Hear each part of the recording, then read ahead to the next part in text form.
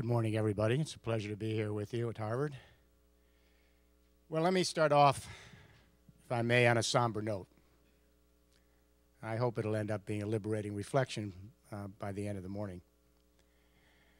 When Chancellor Merkel became Chancellor of Germany, she asked me to come to Berlin in the first few weeks of her new administration to help her address the question how do we grow the German economy in the 21st century? Now, no small business because remember, the German economy is the most robust industrial economy per capita in the world, and along with China, the leading exporting nation on the planet.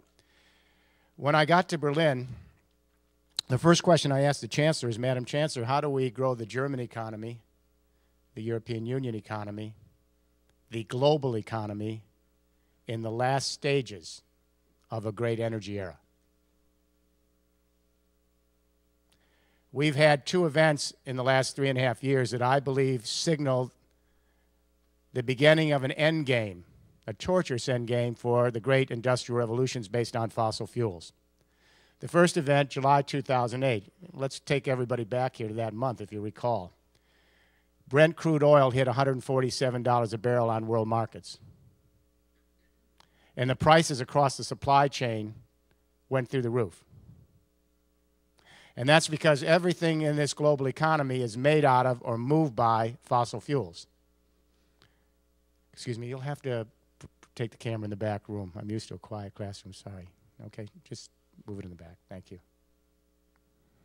We grow our food and petrochemical fertilizers and pesticides. Virtually all of our construction materials, from plastic to cement, are made out of fossil fuels. Most of our pharmaceutical products are still petrochemical based. All of our synthetic fiber, our power, transport, heat, and light. We've built a great short lived civilization on digging up the burial deposits of the Carboniferous era. So when oil started to go over $80 a barrel in 2007, all the other prices in the supply chain went up. At $120 a barrel, we had food riots in 22 countries. And that's because, as you know, 40% of the human race lives on $2 a day or less. And the price of rice, wheat, barley, rye was doubling and trebling because of the oil markets. And the United Nations FAO put out an alert saying we have a billion people now in harm's way. This was a serious crisis. At $147 a barrel, the prices for everything were so high, all of us stopped buying and the entire economic engine of the Industrial Revolution shut down that month. What I want to suggest to you, that was the economic earthquake. The collapse of the financial market 60 days later was the aftershock. In public policy, we're still dealing with the aftershock, including many of my colleagues, all, most of the economists. We're not dealing with the earthquake. And until we do, we're not going to get a read on where we are and where we need to go the connection between the oil crisis and the financial collapse, I'm not going to deal with that this morning. Is a long chapter, chapter one in the book, The Third Industrial Revolution. But the reason, uh, what's happened here is we've hit peak globalization for the Second Industrial Revolution. In the business community, we now know the outer limits of how far we can globalize this economy. It's about 150 a barrel, and it'll shut down every time. The reason is we've hit two milestones peak oil per capita, 1979, and now global peak oil production in 2006. Peak oil per capita happened at the height of the second industrial revolution. Had we distributed all the crude oil we had in 1979 to everyone alive at that moment on the planet, that's the most each person could have if we shared it. We have found more oil since then, but population rose quicker. So if we distributed all the crude oil we have today to 7 billion people, there's just less to go around. The second milestone, global peak oil production, which, as you know, has been rather controversial among geologists for the last 20 years. That's when we use half the oil in the world on the Hubbert bell curve in geology. The interesting point of this is when half the oil is used up, it's over because we can't afford the second half. It's prohibitive price wise. The International Energy Agency, who all of us rely on for our stats for fossil fuels, they dropped a bombshell in the business community in December, in December 2010. And they issued their 2011 energy report, and they said, it looks like we peaked in 2006. at 70 million barrels of crude oil a day. We'll plateau down to 69 million barrels over the next 20 years. But listen to this it's going to cost us 7 trillion to 8 trillion dollars to get that remaining oil out. So when India and China made a bid to bring one third of the human race into the game at a fast paced 8, 10, 12% growth rate in the last 15 years, the aggregate demand pressure against crude oil was so great, all the other prices went up after the oil prices went up, and then we shut down in July 2008. This is an end game. This is peak globalization. What I'm suggesting to you, every time we try to regrow this global economy at the same rate we were growing before 2008, we're going to see the same cycle. Oil goes up, all the other prices go up, purchasing power shuts down. That's what's happened. In 2009, oil was hitting about 30 a barrel because there was no economic activity. So oil was just paced very low. As soon as we tried to replenish inventories in 2010, oil prices have shot up, all the other prices have gone up, and purchasing power is slowing down all over the world today. And here in the United States, everyone says we have a glimmer of the economy moving. The economy's moving, but watch the gasoline prices go to four to five dollars a barrel in the next 12 months. This is an end game. Every time we try to restart the engine, four to five year cycles, collapse. Restart the engine, four to five year cycles, collapse. Maybe six years. This is a dangerous moment in economic history. It's also a great opportunity. The second event of the last three and a half years, Copenhagen. Leaders come together from 192 countries to address the entropy bill for the industrial age. Do I have any engineers here? Well, you know you cannot escape that second law of thermodynamics. This is not a metaphor.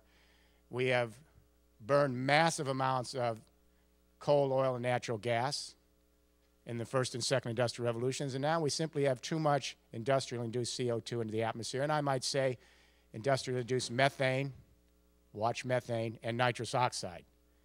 So the short and long of it is we can't get enough of the sun's heat back off this earth. How bad is it? In 2007, the UN Climate Panel issued its long awaited assessment report, its fourth assessment report, 2,500 scientists, 125 countries, across every discipline, 20 years of modeling. The report was dire. I was in Paris, it was published in Paris at that time. President Chirac asked me to come in to address the question, what do we do now from an economic perspective? And I'm going to tell you something. First thing I did is I got up, we had world leaders there. I said, well, I got it wrong for 30 years, which is a long time to get something wrong. I first wrote about climate change in a book some of you old folks remember called Entropy in 1980. We were aware of the crisis. We built a global network in the 80s of environmental activists, NGOs, and scientists, but we continued to underestimate the speed of climate change we couldn't wrap our mind around the feedback loops. We can't even model the feedback loops. Then when they happen, we say, how did we miss it? That's what's terrifying us. So our scientists say it looks like a 3 degrees Celsius rise in temperature in this century. To put this in perspective for the parents and grandparents here, if we only go up 3 degrees, that takes us back to the temperature on Earth 3 million years ago in the Pliocene. Completely different ecosystems. It's all about water, the hydrological cycle. And I wish Al Gore had gone into this in his film. What's terrifying about climate change is the shift in the hydrological cycle. For every one degree that the temperature on the planet goes up, the atmosphere absorbs 7% more precipitation from the ground. It sucks it up. That means the entire water cycle of the planet is completely destabilized in a tiny moment of evolutionary history more floods, more droughts, more tsunamis, more hurricanes, more extreme winter and summer conditions. The whole water cycle shifts. The ecosystems cannot catch up to that change, and that is what's so frightening. And the ecosystems destabilize, then all the species of life in those ecosystems are threatened with extinction.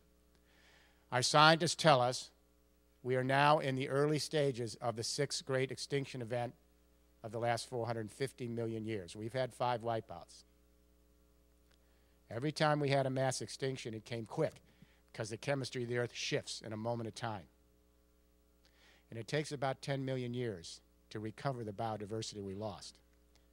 So our scientists model now show uh, we're in the sixth major extinction event. On the low end, 25% wipeout, but on the upper end, which is now looking more like what we're going to, 70% extinction of life in the century of some of you and your children. As my wife says, we're walking dead. There's no guarantee that we're going to be here. 99.5% of all the species that have ever lived on this planet have come and gone. The odds are not good. I teach at the Wharton School in the Executive Ed program. We bring in CEOs from around the world. The first thing I ask them, do you know what the primary economy of the earth is? And they don't. It's photosynthesis.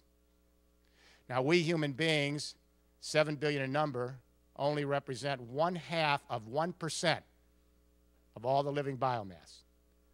We're currently using 31% of all the photosynthetic production of this earth. That is just not sustainable, and we're going to 9 billion people.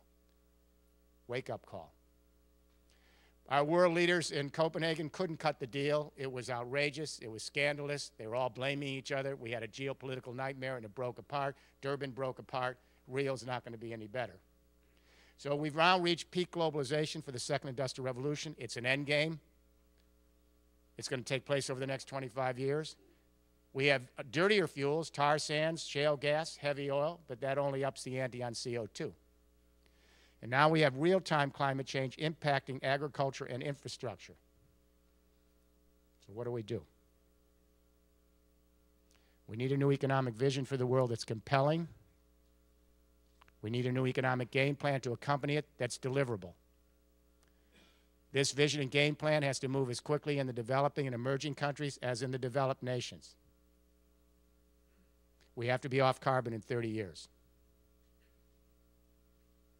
So we want to step back and ask the question, how do the great economic revolutions in history occur? If we know how they occur, we get a little bit of a roadmap where we better go here. The great economic revolutions in history occur when two things come together. First, we change the way we organize energy. Now, we've had many varied energy regimes over history. New energy regimes make possible more complex civilizations. They bring more people together. The energy allows us to annihilate time and space, differentiate more skills, integrate people into larger units. But it's the very complexity of new energy regimes that then requires something else, new communication revolutions to manage the new energy regimes. When communication revolutions merge and converge with energy revolutions, it changes the economic paradigm, it changes the political landscape, it changes consciousness. I will not go into the question of the, this narrative over history. There's a book preceding this Third Industrial Revolution book called The Empathic Civilization. It's a 660 page book, a relooking at the narrative of history based on communication energy and how it changes our empathic distress and our social ability. I would urge you to read that book along with this. Let me give you an example of what I mean here, though. 19th century, we went from manual presses, Gutenberg's invention, German invention, to steam power presses, linotype and rotary presses. All of a sudden, we could mass produce print very cheap, low, at high volumes with low transaction costs, like the internet does today. We then introduced public schools in Europe and America. We created a print literate workforce with the communication skills to match and manage a complex coal power steam driven first industrial revolution. An illiterate workforce couldn't have done this. In the 20th century, we had another convergence of communication energy, centralized electricity, and especially the telephone. And then later, radio and television became the communication tools to manage and market a more dispersed auto, oil, and suburban era and a mass consumer society. That second industrial revolution is clearly dying. These energies, fossil fuels, and uranium are getting more and more expensive. They're never going to get cheaper again. The technologies based on them, like the internal combustion engine, are exhausted. And we have an infrastructure made out of carbon that's literally crumbling. It's on life support.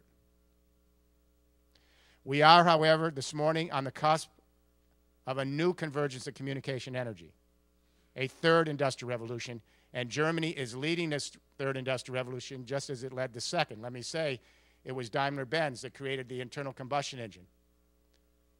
And it was Germany that created the Autobahn. Good idea, bad government. so, what I'm about to outline, I'm going to talk to you about what Germany is doing in each phase of this. It's the economic engine of Europe. It is going to move us into a third industrial revolution. But watch Korea, watch Japan and the Pacific, India and Asia. They're going to be right on line with this. We had a very powerful communication revolution in the last 25 years the personal computer and the internet. What's interesting about the internet is the way it's organized. I grew up on centralized communication, top down, one to many television, radio, newspapers. What's interesting about the internet is it's organized to be distributed and collaborative. And it doesn't scale top down, it's lateral power. Now, for my generation, that's an oxymoron. We always believed power is pyramidal. How else could it be administered? But now we have a generation in this room that believes that power is peer to peer, side to side, lateral power. It changes everything, the whole way we think in every discipline, in every industry, in every sector of society. This internet revolution, which is distributed and collaborative and scales laterally, is just now beginning to merge in Germany and some other places, Denmark, Netherlands.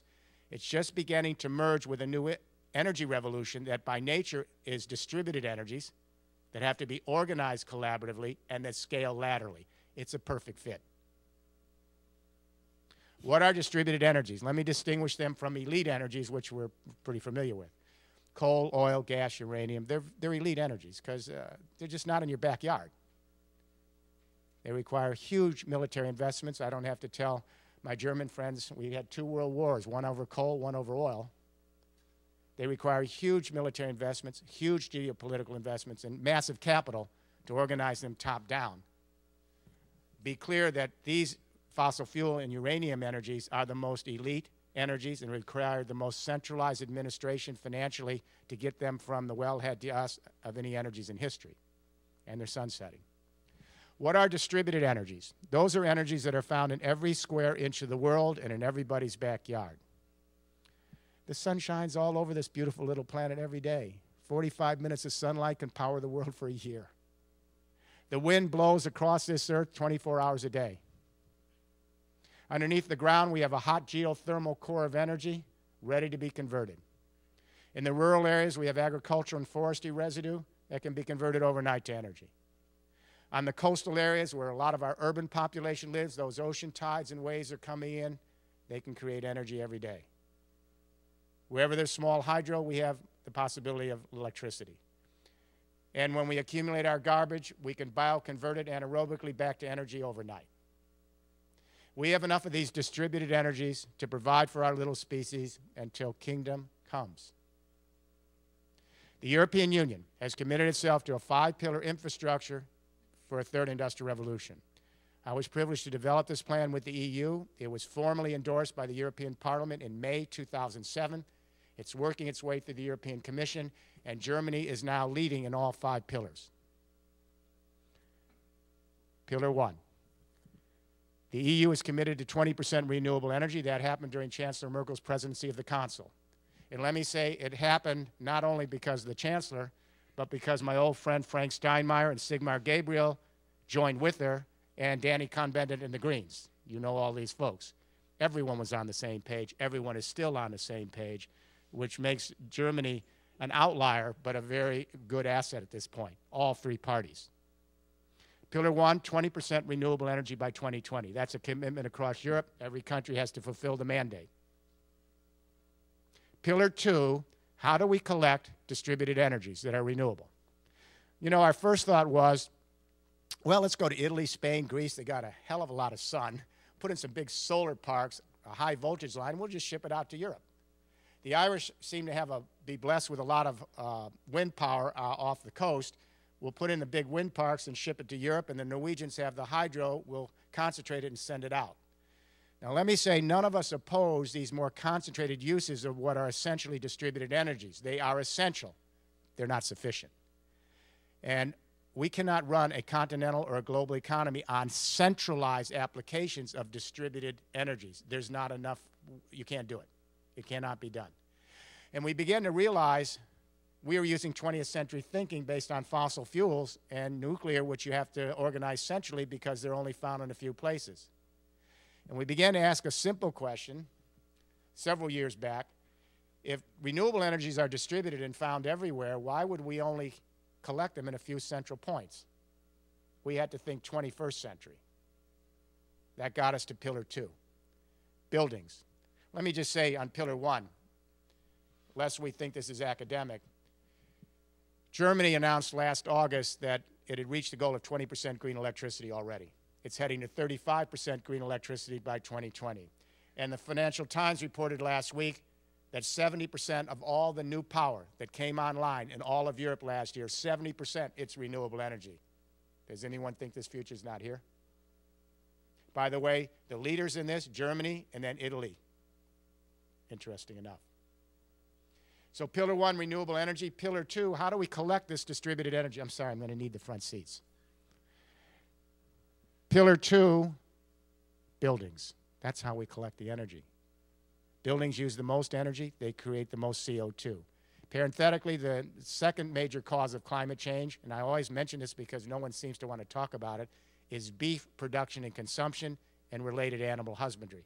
Number three is transport. But not one government leader in 192 countries, including the ones I advise, have made a single statement on number two, cause of climate change, even Al Gore. How serious are we here about the future of our species if we're afraid to deal with diet? Number one is buildings. We have 191 million buildings in the European Union homes, offices, factories. The goal is to convert every building in Europe to your own partial micro power plant, green power plant. So you can collect solar off your roof, vertical wind off the side of your building for energy. You can collect geothermal heat with your heat pump under the ground. You can convert your garbage back to energy, the works. The new buildings that are coming up are positive power. Bouygues has the first building up, the great French construction company. Olivier Bouygues showed me the blueprints three years ago. He was a little tentative. They put it up, though. It's right next to the OECD headquarters in Paris. It just came up. It's drop dead gorgeous. Architecturally, it's so sophisticated, it collects just enough sun to provide all of its power, and then it sends surplus back to the grid. Pillar two jumpstarts construction.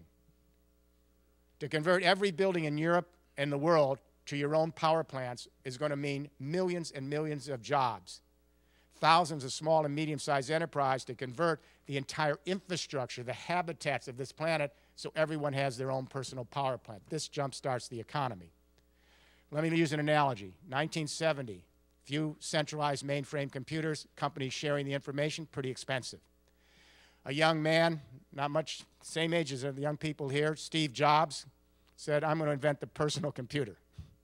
Now, 2.3 billion people send their own video, audio, and text to each other, lateral power, organized, distributed, and collaborative, with far more power than all the centralized television networks of the 20th century, and we did this in 25 years.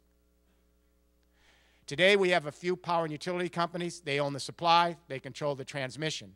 But already, we have several million facilities in Europe producing their own green electricity.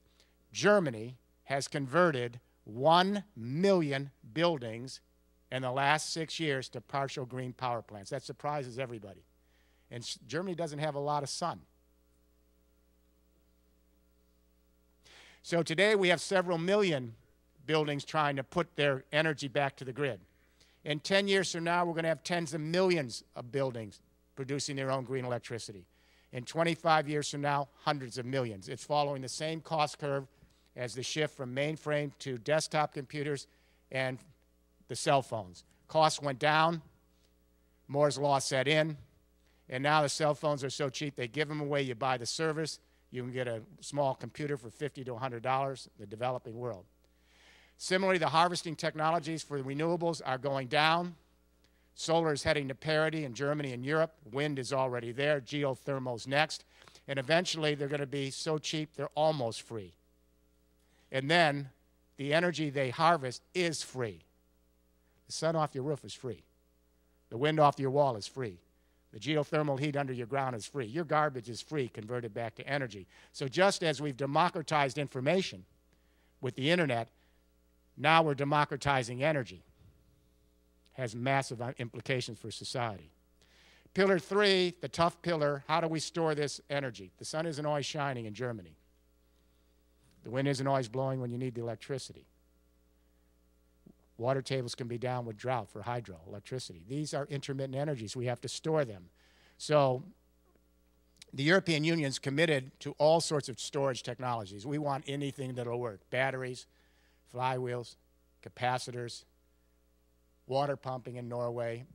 But at the center of the storage network, we've placed hydrogen. It just makes common sense. It's the building block of the universe. It carries other energies. It's modular. So you can put a little hydrogen fuel cell in your home or in a big utility. Batteries can't carry the load. The EU's committed 8 billion euros to a public-private partnership to deploy hydrogen. Here's how it works. You have a small company. You have solar panels on the roof. The sun hits the roof, you generate some electricity. If you have some surplus you don't need, you take that surplus electricity and you put the electricity in water. Remember high school chemistry? I think you slept through this class. High school chemistry, you're in the humanities, right? Not the sciences. All right. High school chemistry, you put the anode and the cathode in the water, and the hydrogen comes out of the water into a tank. Then when you don't have the sun shining on your house in Hamburg, Germany, you can just convert that hydrogen back to electricity. And engineers, this is a tiny thermodynamic loss on site compared to bringing coal, oil, gas, and uranium at every step of conversion from wellhead to you. When Chancellor Merkel came in to office, I said, I want you to take a gamble here. I want you to put some money in for hydrogen R&D. I gave her a memo. She put 500 million into research. It was a gamble. She's a physicist. She figured it would work. And now hydrogen infrastructure is starting to be tested across Germany. Pillar four, Pillar four is where the internet revolution converges with the new energies to create a powerful nervous system for a new third industrial revolution. We take off-the-shelf internet technology. We take the transmission and power grid of Germany, Europe, and the world, and we convert that electricity grid to a, a green electricity internet that acts exactly like the internet. So when millions of buildings in Germany and Europe are collecting just a little bit of their own energy on site, storing it in hydrogen like we store media in digital. And then if they don't need some of that electricity at any given time of the day in that home, office, or factory, their software can direct their computer to move that green electricity onto the electricity internet. And they can share it from the Irish Sea to the doorsteps of Russia, just like we now create our own information, store it in digital, share it online. Germany is testing the green electricity internet in six regions of Germany this morning. It's amazing. All, for example, in one region, they've got all the appliances connected to software. So we will know what every washing machine is doing in Germany. So if there's too much demand for electricity, not enough supply, we can tell 300,000 washing machines, forget the extra rinse. If you bought the program, you get a credit. It's voluntary. You're now an entrepreneur, you can choose not to be one. They're even testing weather conditions because we can obviously, with GPS and with uh, Doppler, we can know what the wind's going to do in two hours from now, what the sun's going to do in six hours from now, if it's going to rain in 10 hours from now. And they're feeding that information into the grid so you can tell whether you stay on the grid, go off the grid, sell, or buy. Pillar five, last pillar, transport. Electric vehicles are out this year. Fuel cell vehicles are out in 2014. Mass production, done deal. We can plug in our cars, buses, and trucks anywhere into the grid, get green electricity from our buildings. Wherever we travel in Germany, power charging units on every parking meter and really under the ground, too. You go up on the, on the plate, right there at the corner with a street light, you're juiced up in two, two, minute, two minutes, one minute, your smart card's in, you move on. You can even sell your electricity back to the grid. You're working, you're, at, you're maybe writing a paper, your car's sitting out there doing nothing, it's attached to the grid. If the electricity price goes up, your computer will direct your car to sell back to the grid. If 25% of the fleet of Germany at any given time is selling back to the grid, you eliminate every centralized power plant. These five pillars together create a living infrastructure, a mega technology platform for a new economic paradigm. This is power to the people. This is the democratization of energy. This changes the political, social, and cultural political arrangements, power relations in society fundamentally, flattens them. If you know how a communication energy matrix comes together, you can pretty well determine the way power is distributed in any given society in history. Let me say that the music companies did not understand the distributed collaborative nature of the internet revolution. When millions of young people, some of them here in this room, started sharing their music with file sharing and music. The music company thought it was a joke. Then they became terrified. Then they went out of business, all in five years. Some of them stayed alive, but barely. The newspapers did not understand the blogosphere, millions of people sharing information, knowledge, videos. These are all amateurs. This will just be a side event. Now the newspapers are going out of business or creating blogs to try to stay in the game. As powerful as the democratization of information was with the internet, when the internet then democratizes energy, this is a, this is a sea change. This is a game changer. The reason we can do this now is Grid 2.0. For 30 years, governments say, Mr. Rifkin, how do you run the world on garbage?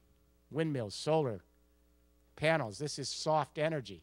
It's nice, but it's going to be a niche energy. We have to have hard energy, coal, oil, gas, and nuclear. We couldn't answer the question until the late 90s when two researchers in Silicon Valley came up with the idea of connecting thousands and then millions of little desktop computers with software.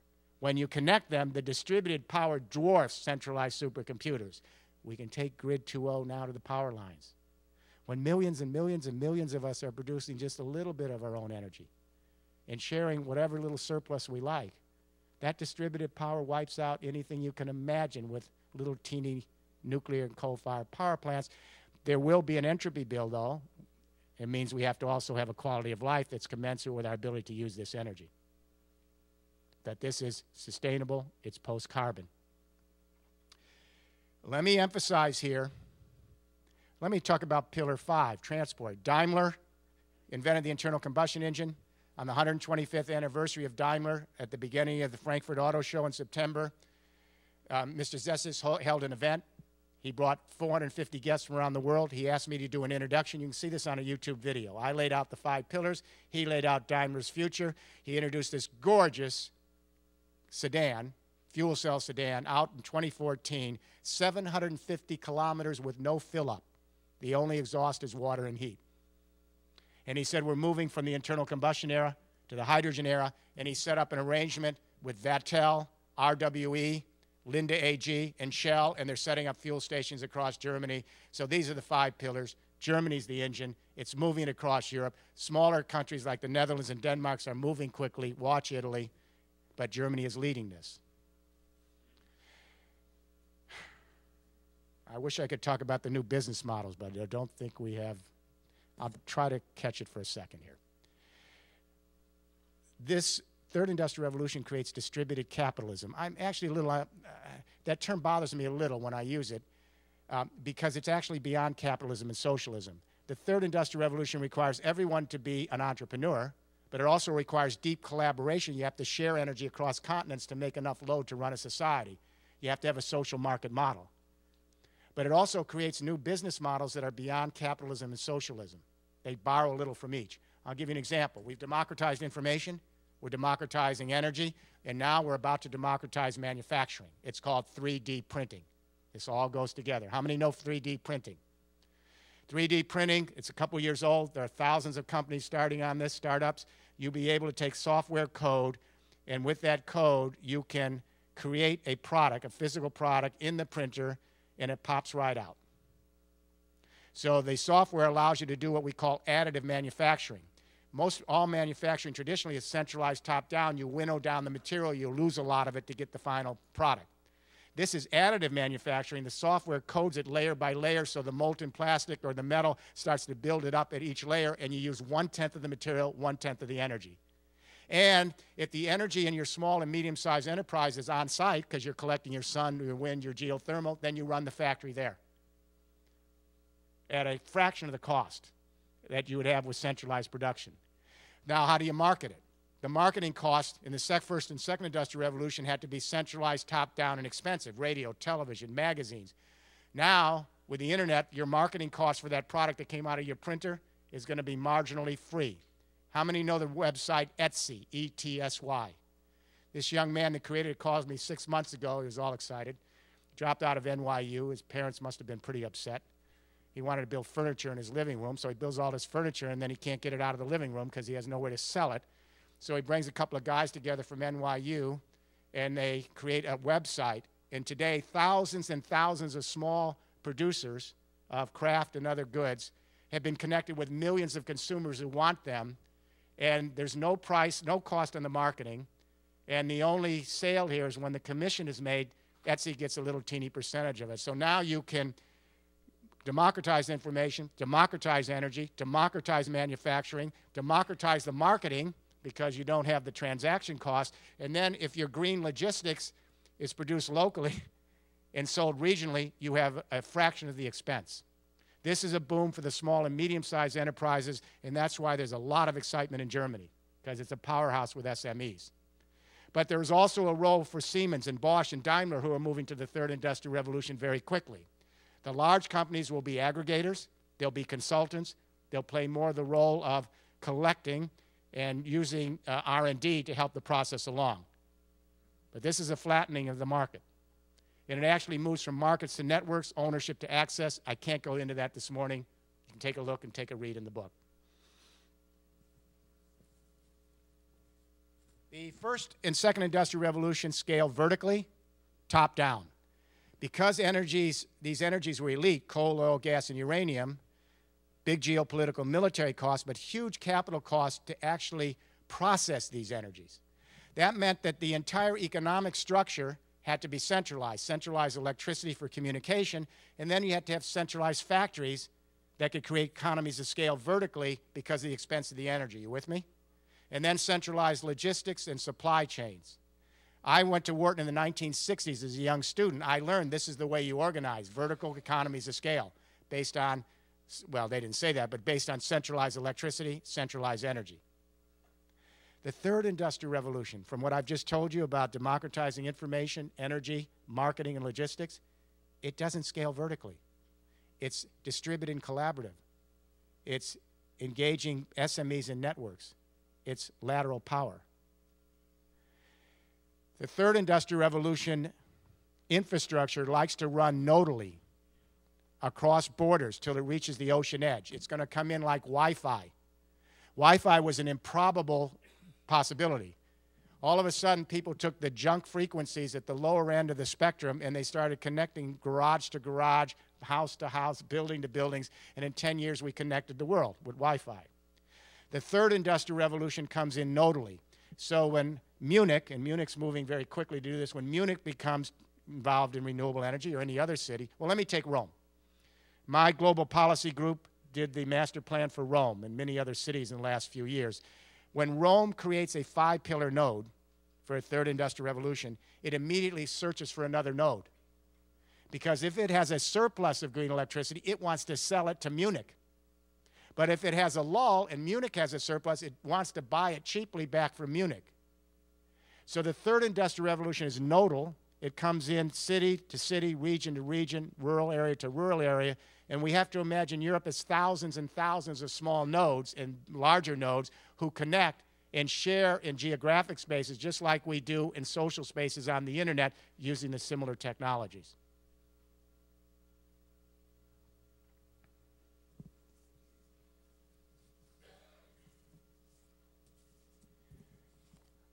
The third industrial revolution creates a new politics.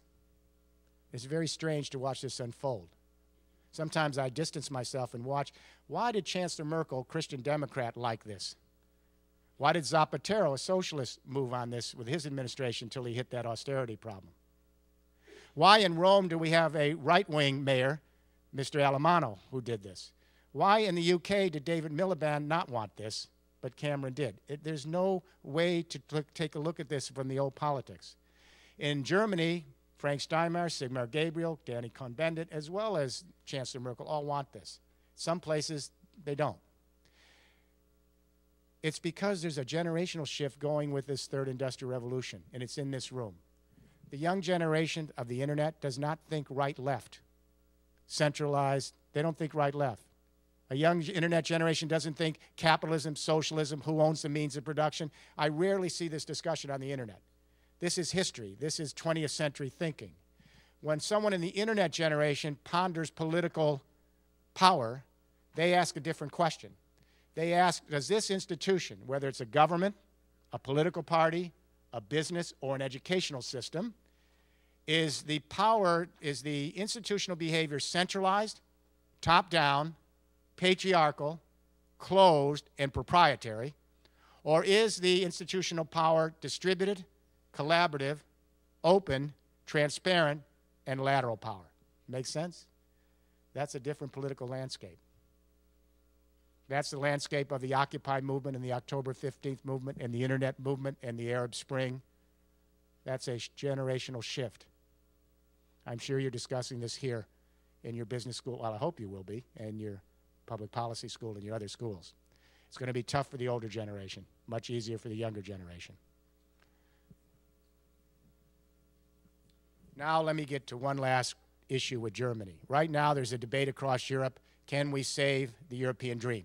I've been hammered on this. If you read the Financial Times, I wrote that book, The European Dream, and now the columnists are saying, well, Mr. Rifkin, what happened to the dream?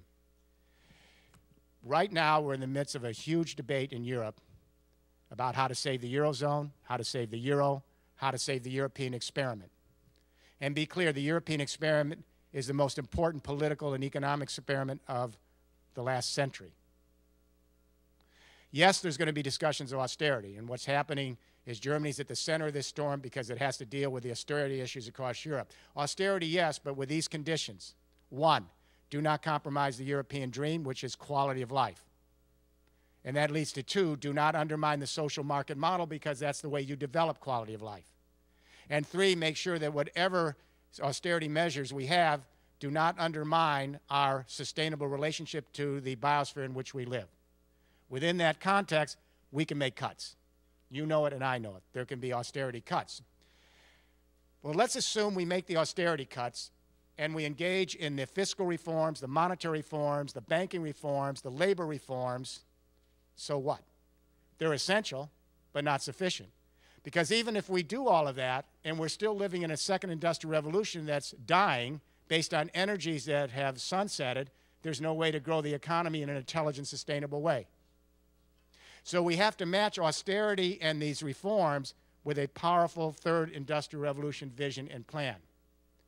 How does this address the next venture in Europe? Europe started around energy. After the war, France and Germany decided we can't fight anymore around energy. And the first thing they did is said, we're going to share the rural valley, the Ruhr Valley. We're going to share the coal and share the steel and create the coal and steel community. Then they said, we've got a new technology, nuclear power, we're going to share that with the Euratom. That led to the common market, the EC, and the EU. It was around sharing energy so there'd be no more wars, collaborative effort. Now, 50 years into the European Union, what is the next stage of European integration? The Chancellor is asking, how do we create a deeper Europe, a more integrated Europe? We have the golden goose. We have to feed the golden goose. And this is what I said to the Chancellor after Fukushima. She asked me to come to Berlin. Some of you saw it. We laid this out. And I said, what you need to do is feed the goose. Here's the goose. You have 500 million consumers in the European Union. You have an additional 500 million consumers in your partnership regions in the Mediterranean and North Africa. You have a billion person market, potentially the most impressive market of consumers in the world.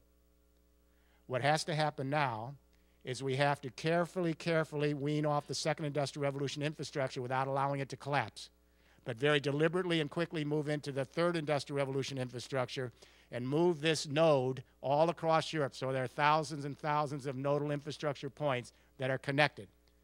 So we can share energy and green electricity across the continent.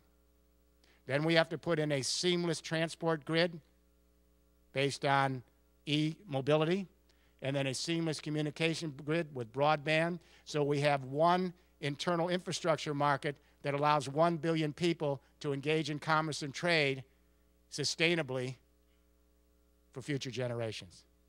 That is the next stage of the European integration project.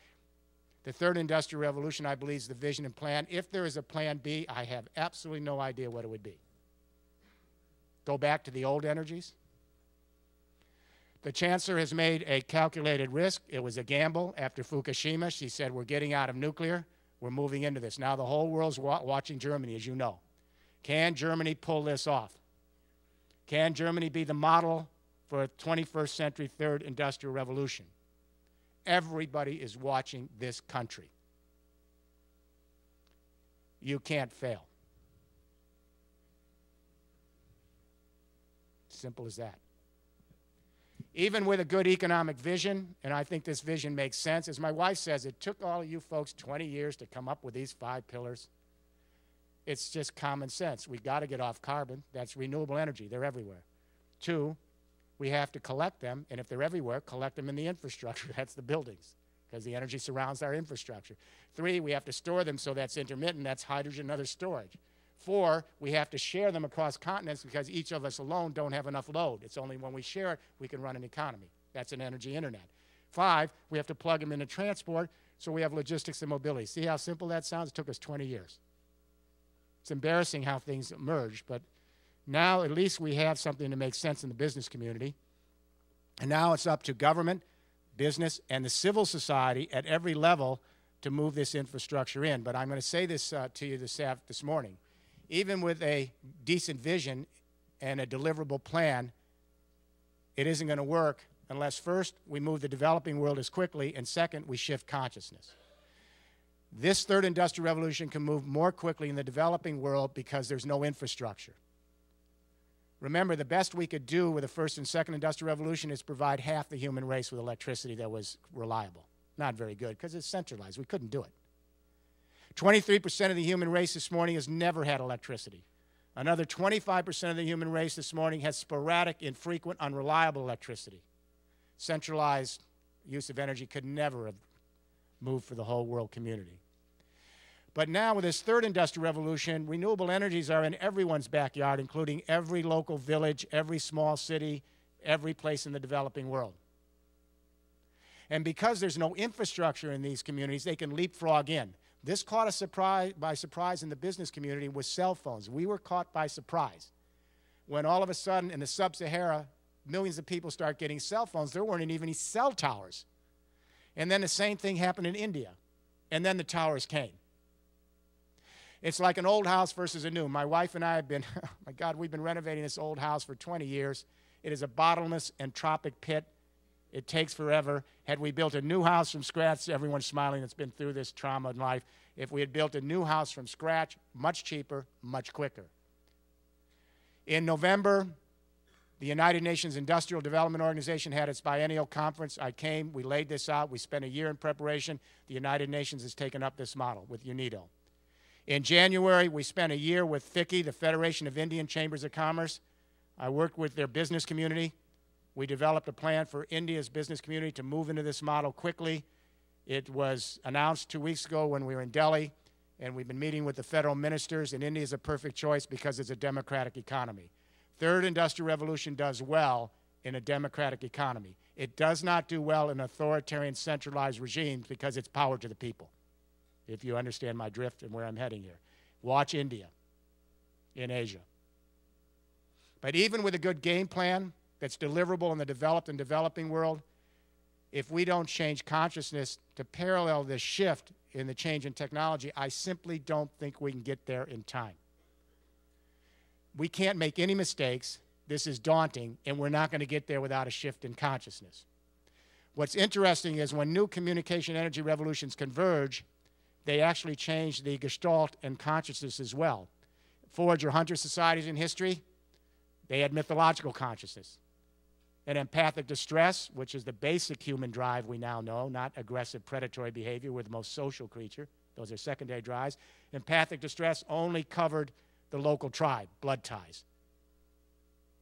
And every forager hunter had mythological consciousness. When we went to the great hydraulic civilizations in the Middle East, the Indus Valley of India and China, we went to uh, storage sun with agriculture, and we developed writing to organize it, communication. We went to theological consciousness. And empathic distress extended to a larger family, from blood ties to religious ties. All the great religions were formed back then. I'm Jewish, the Abrahamic religions, Buddhism based on script in India. And we extended our empathic distress to these larger units. In the 19th century, first industrial revolution, we shifted to ideological consciousness and a new sense of family, the nation state. Now all Germans think they're Germans. All French think they're French. It's, an, it's, it's a historical fiction. But we create the commemorations and the ceremonies, and now Germans kiss each other on the cheek, but maybe they don't kiss the, the, the, uh, the French. The French all think they're brothers and sisters. They extend their empathic distress to the outer boundaries of their new communication energy regime, but it doesn't include Germany. You with me? And we go to ideological consciousness. In the 20th century, Second Industrial Revolution, new energy and communication, we shifted to psychological consciousness. And the empathic distress went to a new fictional family, those of like minded associational ties. Today, we're on the cusp of this third industrial revolution, and the borders are shifting now to biosphere consciousness. We're not giving up psychological consciousness or ideological consciousness or theological consciousness or even mythological consciousness, but it's like the Russian dolls.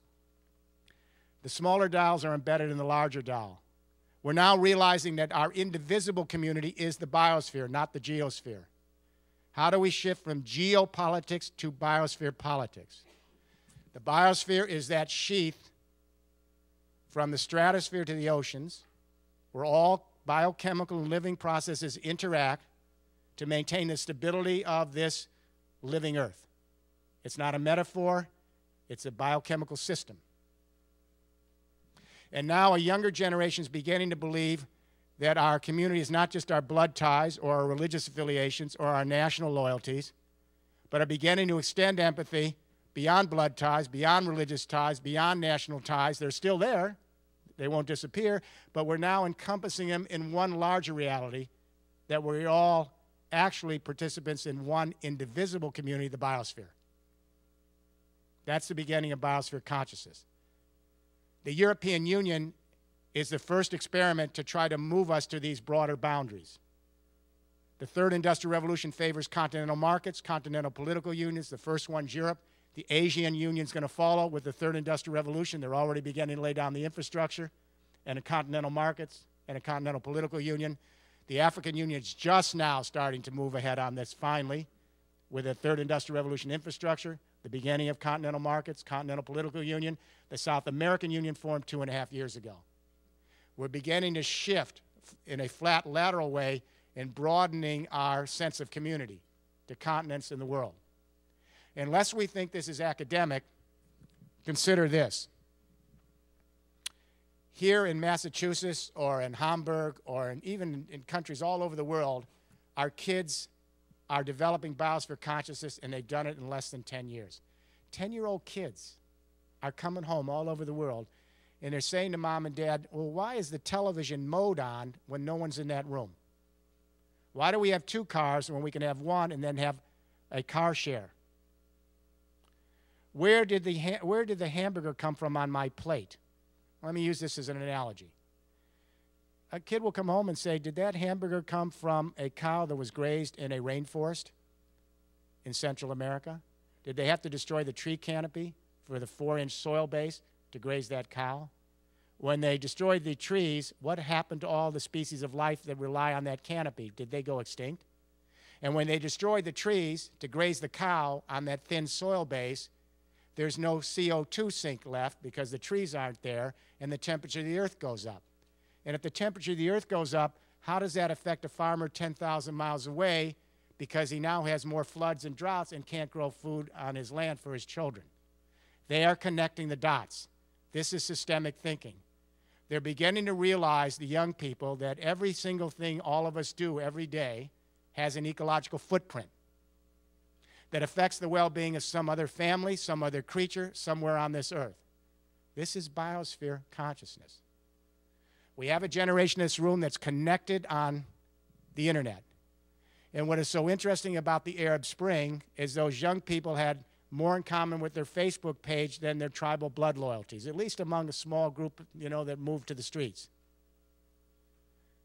And so now we're starting to connect at the speed of light. So when there's an earthquake in Haiti and we get the Twitter and YouTube within an hour and we can actually feel like we're in the backyard and these are our brothers and sisters in real time, that's the extension of empathy in real time to our fellow human beings. So now with this third industrial revolution, we have connected ourselves on the internet, but imagine when we connect ourselves in this third industrial revolution node across Germany, Europe, and the world. When each of us is responsible for the node we're in, and we have to steward the energies in our part of the biosphere, but then connect to other nodes to share that energy, we begin to realize we are as interconnected in the energy flows of the biosphere as we're connected in the social spaces of the internet. That's real. So, what's the mission? Germany has a big task at hand. It has to move Europe quickly into this third industrial revolution. As I said, I think the other players to watch watch Korea in the Pacific and watch Japan in the next year because after Fukushima, the Japanese public wanted the prime minister to quit. He said, I'll only quit if you pass one piece of legislation, then I'll quit. And you know what that legislation was? A feed in tariff, like Germany put in. So that you raise the electricity price slightly, that means early adopters can have all that opportunity to convert their buildings to renewable energy and then get premium for sending their electricity to the grid. That was the only thing he wanted passed. Now, the young generation in Japan and the IT industry and the internet industry and the construction industry and the transport industry, they're on fire and they're going to roll right over those power and utility monopolies in Japan. So watch Japan, watch Korea, watch India in, in Asia, watch potentially Brazil, maybe, in South America. So I'm hopeful. I'm not optimistic. I'm not pessimistic. Doesn't do me any good. I'm 67 years old. I'm doing this for 40 years, and I've learned something. History is mercurial. Anything can derail this. Bad leadership, unfortunate events, historic moments that we didn't anticipate. But what we need to do, all of you young people here, and not only my German friends in the audience, but my American friends, because we need to move this. Let me say, America's behind here. But what one thing I know about America, once we get the narrative, we can move very, very quickly. I'm hoping what's happened in Germany will blow back to America because there's a young generation here that's ready for this third industrial revolution. The key is the narrative. The reason Obama failed is he didn't understand the narrative. He wanted a green economy. He poured billions of dollars of stimulus money into a green economy, but he isolated it in siloed pilot projects. He put money to a battery factory here, a fuel cell factory there. He didn't connect it. He didn't understand that the great changes are infrastructure shifts. You have to have a communication energy matrix in place and then the pillars of an infrastructure to go with it. So he literally lost and wasted billions of dollars of our monies. More importantly, now the American people don't believe you can have a green economy.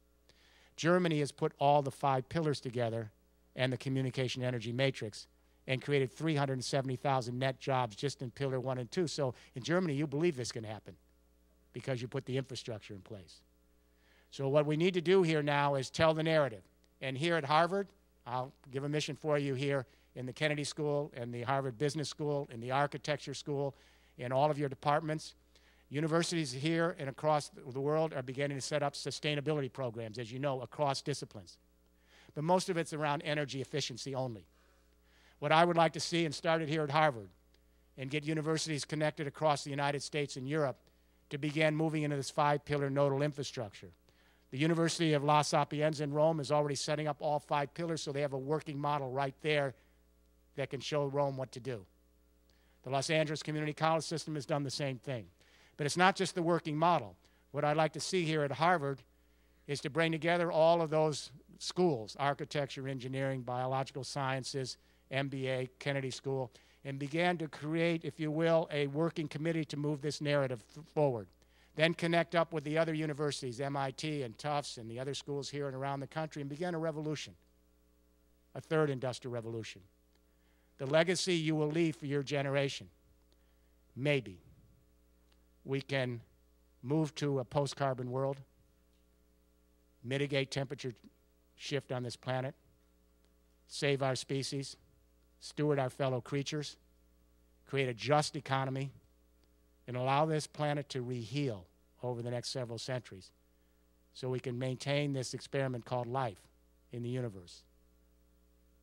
So I think that's the dedicated mission. I'm hoping every young person in this room will spend your next 40 years organizing, mobilizing, executing, get us to a post-carbon world, get us to biosphere consciousness.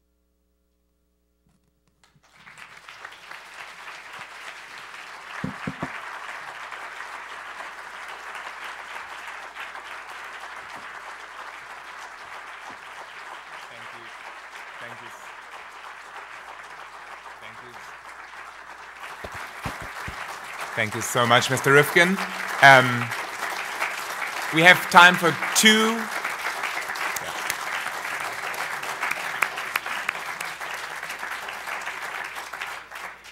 We have time for two very short questions, if there are any. Otherwise, Mr. Rifkin agreed that he would be around in the coffee break. Two very short, please be brief. Those two.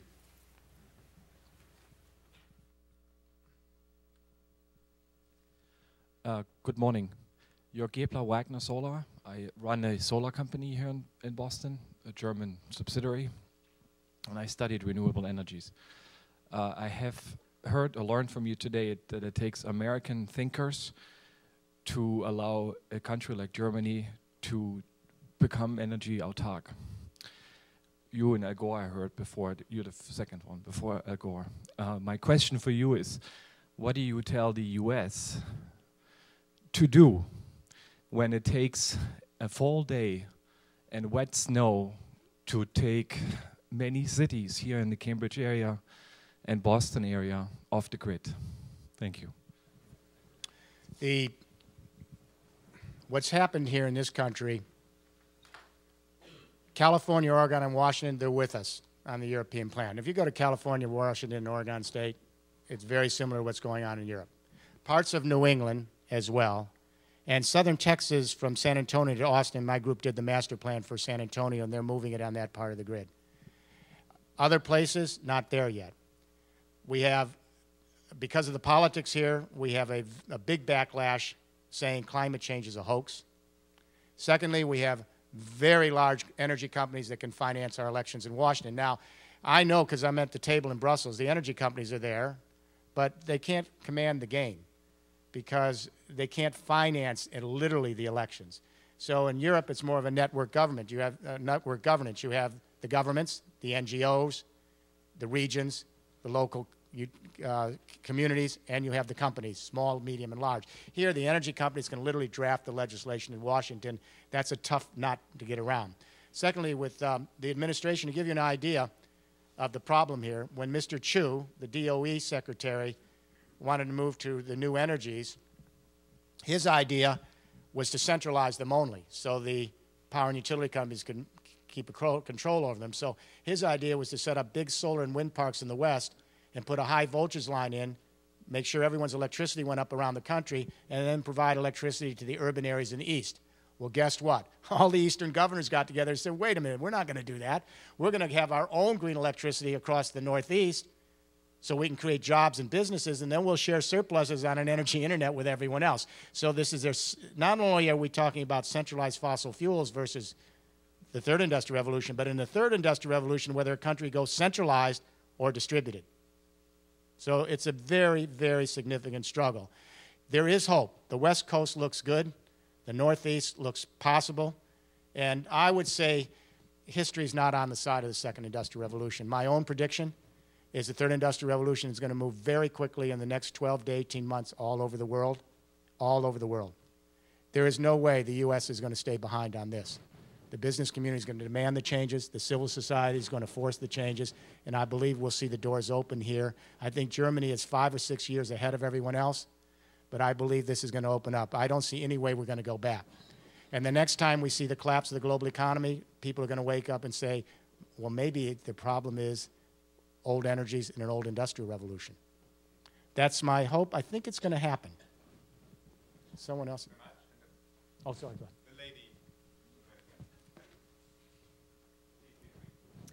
Um, yes, I wondered if you're in a position, if Germany's ahead of the game, uh, where do you see Central and Eastern Europe? I live in Prague and am filled with despair that that country is in a position to move forward in this way because of old totalitarian wounds and obstructionist politics and so on. I'm going to give you a little hope. I just uh, sat down for a long dinner with the mayor of Bratislava. He's, uh, and um, He's a young man who came out of, you may know, came out of the IT industry. And we're talking now about Bratislava joining Vienna for a cross-border third industrial revolution node. Last week I was in, I was in um, Poland. And as you know, Poland's been a little bit of a problem uh, uh, up to now. I got a call four weeks ago from Mr. Pawlak, the Deputy Prime Minister formerly twice Prime Minister of Poland, the head of the economy, and he's really kept Poland out of the recession. They have a 4.3% growth rate. He said, Can you urgently come to Warsaw? We're ready to talk. Last week, we sat down for a three hour workshop with him hosting with all the federal ministers, laid out the third industrial revolution, had a press conference, said Poland wants to now explore moving into the new business model. Well, it's interesting. 30% of their business is with Germany. You with me? So it's about trade, too, not just getting to a post carbon society. So when you have Daimler, Bosch, Siemens, and all those industries in Germany moving to this no third industrial revolution infrastructure, it behooves Poland to move similarly so its businesses are in line. So what's interesting about this third industrial revolution, it's not a climate change plan. It's not even really an energy plan. It's an economic plan that encompasses and allows us to move toward a post-carbon world much quicker than with all the mandates that you can come up with in places like Durban or Rio. So Poland is now very interested. So I hope that gives you a little hope in Central and Eastern Europe. They don't want to fall behind either. This is very significant what's happened in Poland. One last.